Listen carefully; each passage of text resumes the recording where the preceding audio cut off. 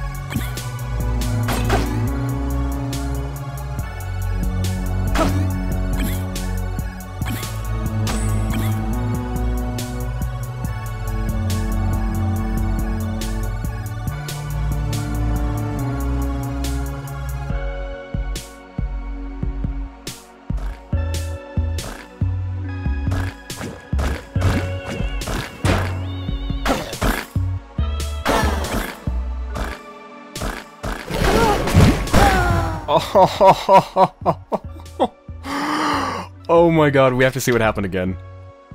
I've actually never been taken by one of those things. They take you back to their fucking little swamps. Oh man, I tried to move away from him, but I hit the fucking mushroom instead. Look at that, I hit the mushroom instead of moving away. that little bastard got his mucky hands around me and dragged me back to a swamp. I've actually never been grabbed by one of those things before. That was that was interesting. Yeah, the whip is a really strange weapon. It's really hard to get used to.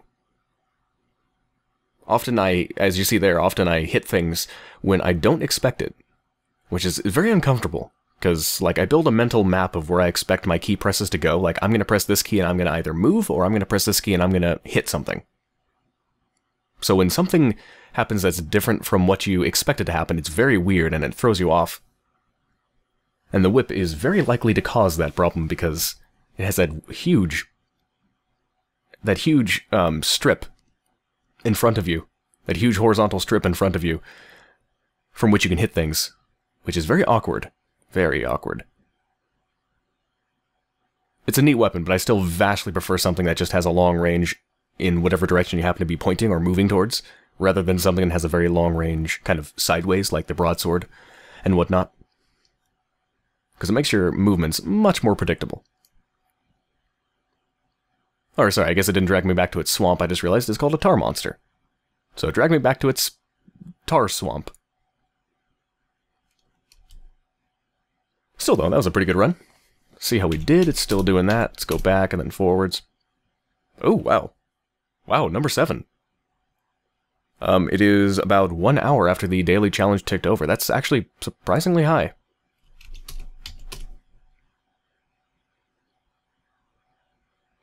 lumpy lumps. Number nine, lumpy lumps. There's always some interesting names on these leaderboards. Alright, well, that has been the daily challenge for October 11th, 2014. Thank you for watching, and I'll see you on the next one.